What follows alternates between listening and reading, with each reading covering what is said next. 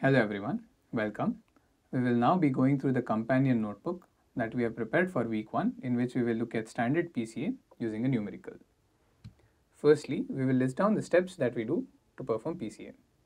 So the first step is to center the data set and then calculate the covariance matrix of this centered data. Then compute the eigenvectors and eigenvalues of this covariance matrix.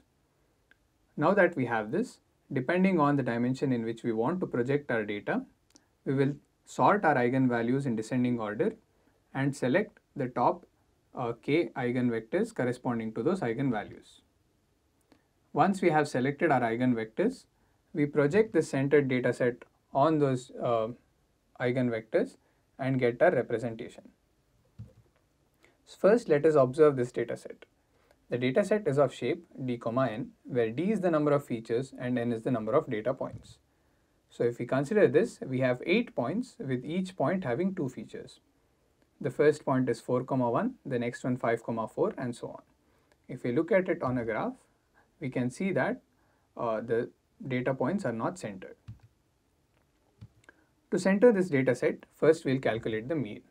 And once we have the mean, we need to subtract it from each point and we will write it as a new data set x centered. So consider a point 4 comma 2. The value we get after updating it will be 1.25 comma 0.75. We will do this for all the points and we will write them in a matrix called x centered. And now if you look at the graph, you can see that it is centered. A side-by-side -side comparison of the two shows the operation that we have performed. We know that when we find our principal component, it should be the direction which explains the maximum, so or the one with the maximum variance, which we expect it to be along this direction. So let us see if what we have, let us see if the operations we perform confirm the same. To calculate the covariance matrix, we have this. So here x is of shape uh, 2 cross 8 and x transpose is of shape 8 cross 2. So when we multiply the two of them, we should get a matrix of shape 2 cross 2. So now that we have our covariance matrix, we can calculate the eigenvalues and eigenvectors corresponding to it. The computation of eigenvalues and eigenvectors is something that is covered in the machine learning foundation course. So now we will use a function called solver which will take in the covariance matrix C and give us the lambda and w values which are nothing but the eigenvalues and eigenvectors. So the highest eigenvalue ends up being 17.5 and the corresponding eigenvector is as shown. So now this eigenvector is in this direction and we can see this confirms with what we expected it to be. Likewise, uh, now that we have our first eigenvector, the second eigenvector or the second principal component has to be perpendicular to it because that I, that principal component is the one that captures the error that we get or while projecting this on the first principal component. Now, uh, when our data set is in a very high dimensional space and we want to use principal components to bring it to a lower dimensional space, the question is how do we decide how many principal components to consider? So for that we use this in which we use this formula lambda i where i sums up from 1 to k and lambda i where i subs from 1 to d in the denominator. This is the dimension of our points originally and this is the dimension of the points when we want to project it. So if we consider k equal to 1, we will just have lambda 1 divided by lambda 1 plus lambda 2 and on substitution we get 0.979. So this value indicates that by just projecting our points on the first principal component, we can explain over 97% of the variance in the dataset. Next, we will represent our data using the two principal component and find the reconstruction error. So our original dataset that we have x-centered and the two principal components are shown. And to get the representation of it, we simply need to multiply the two.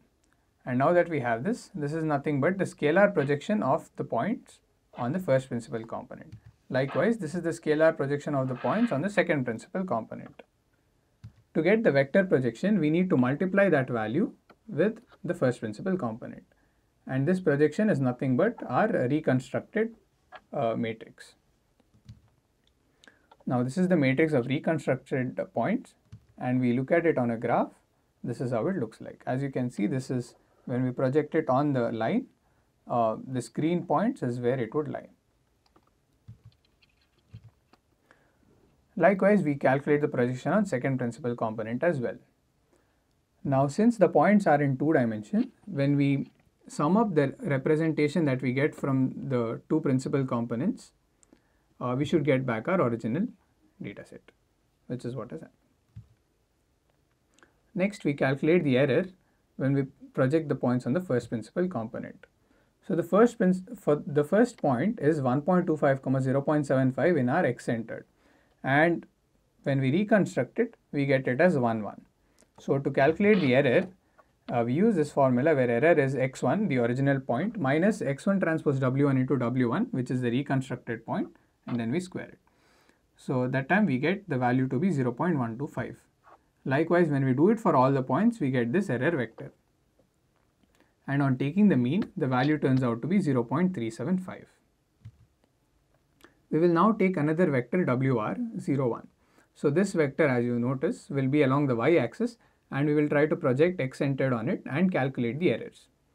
So clearly the least error is when the points are projected on the first principal component. So the error we get will obviously be uh, more than uh, what we have found in this case. So on projecting the points on WR, we get this matrix and then the error vector turns out to be this value. The process is same as we have done before and the mean squared error will be 8.9375. As you can see, the value is much more than what we had in the case of the first principal component. Finally, uh, we have a question in which we are given the first principal component and which of the following options can be the second principal component. So we know that principal components have to be orthogonal to each other. So uh, an easy way to do is to multiply the two of them and see which of them ends up giving the value 0. On doing this operation, we will see that if we multiply the given vector w1 and multiply with this option c, we end, we end up getting the value 0, which indicates that this can be the second principal component. Now that we have seen the numerical in the slides, we will just test it out again using Python and see the results. First, uh, we will import the required packages. So for this, we use the package numpy and we use matplotlib to plot the graphs. Now we have our data set and we need to assign it to a variable. So we will do that and assign it to variable x. And when we plot it on a graph, this is what we will get. So again, you can see that the points are not centered and we need to center it. So to center the data set, we have a function called center, which will take the data points x, calculate the mean and subtract. And we have our x centered data set as seen.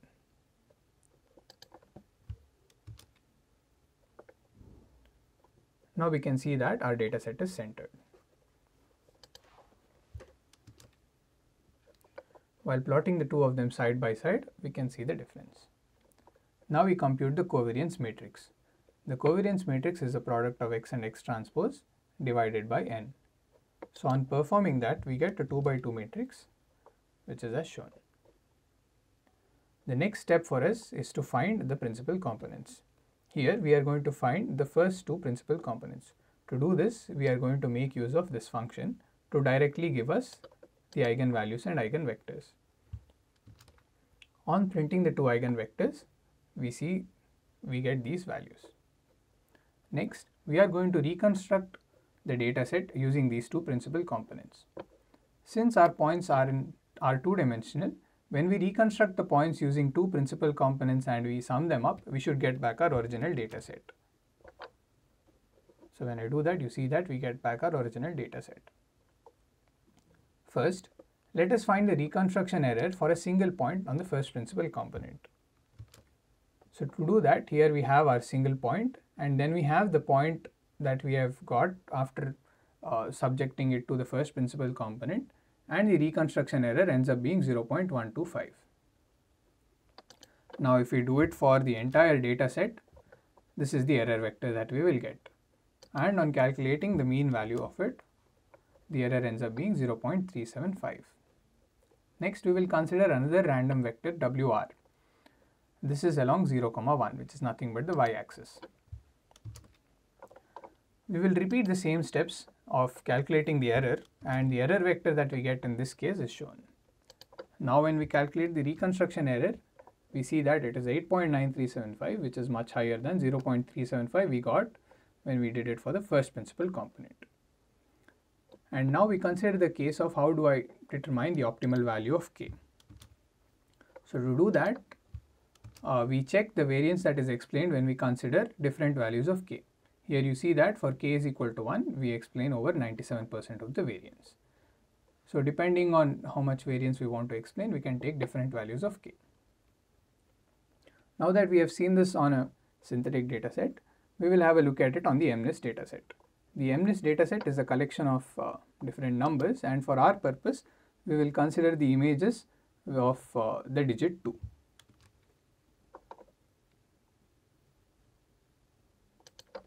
So we will visualize one such image in the dataset and you see this is how it is present.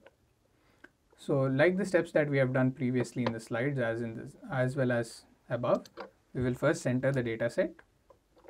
Then we will find the covariance matrix.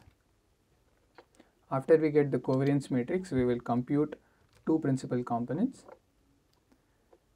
And now if I were to show it along the first principal component, this is how it can be visualized. Now that we have it, our next task is, given a test image, we want to visualize the proxies by reconstructing it using top k principal components. And it says consider four values of k and the values of k should explain different amounts of variance. So we will have different values of k depending on how much variance we want to explain. So that part is covered in this piece of code. So when I run this,